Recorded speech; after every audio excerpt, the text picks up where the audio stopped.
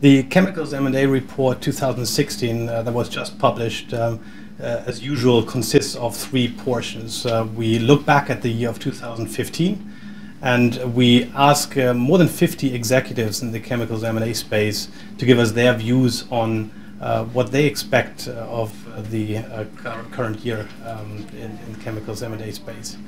Uh, in addition, we are very proud that uh, we got a, an interesting interview with Sam Feinstein from Apollo, um, which is also printed in this report.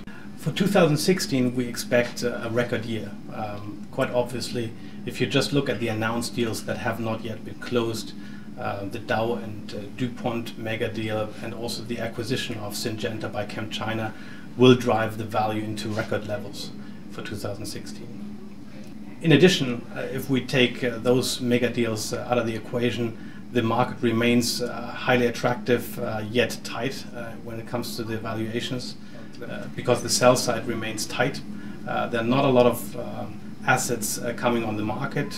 We also had a look at the interest rate development and whether the hike in interest rate will trigger more assets to be divested. We don't really believe uh, that this will be the case. Uh, in fact, uh, the strategic um, companies uh, they have a quite uh, strong balance sheet. Therefore, this is not going to drive a lot of asset disposal, disposals.